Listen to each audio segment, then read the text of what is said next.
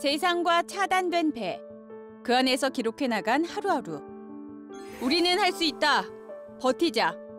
바이러스가 심각하고 희생자가 점점 증가하고 있지만 우리는 계속 삶을 이어가야 합니다. 평소처럼요.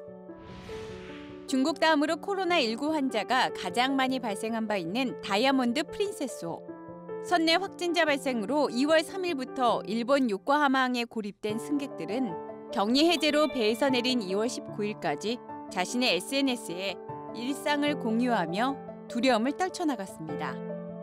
접촉을 최소화하기 위해 객실로 배달되는 식사를 매일 기록하며 세상과 소통한 승객이 있는가 하면 제한된 공간에서 찾아낸 자신만의 운동법을 공유하기도 했죠. 다이아몬드 프린세스호에서 운동할 방법 찾기. 오늘의 운동 시간. 고립생활 열흘이 넘어가던 2월 13일. 다이아몬드 프린세스호의 요리사들은 주방에서 활기찬 춤을 추는 영상을 세상에 띄워보내며 오히려 위로를 건넸습니다. 다이아몬드 프린세스호에서 우리 모두는 코로나19 위기에 처해 있다는 걸 잘 압니다. 하지만 우리는 여전히 미소 짓고 웃으며 춤춥니다. 가족과 친구들을 위해 우리는 하나가 돼 잘 견디며 잘 지낼 겁니다. 참고 버티자는 해시태그와 함께 남긴 다이아몬드 프린세스호의 하루는 서로를 격려하는 힘이 됐죠.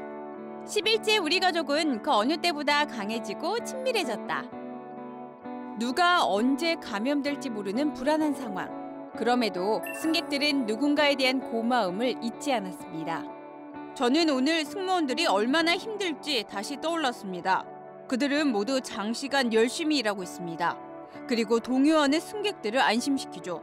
모든 승무원들에게 감사드립니다. 힘든 상황에서도 승객 보호에 최선을 다하는 승무원들입니다. 누군가가 객실 문 앞에 붙이기 시작한 감사 편지는 곧 다이아몬드 프린세스호의 유행이 됐죠. 객실 문마다 붙이기 시작한 따뜻한 메시지는 모두 같은 마음으로 위기의 시간을 버티고 있다는 희망을 확인하는 계기이기도 했습니다. 당신들은 모두 우리들의 영웅입니다. 고맙습니다.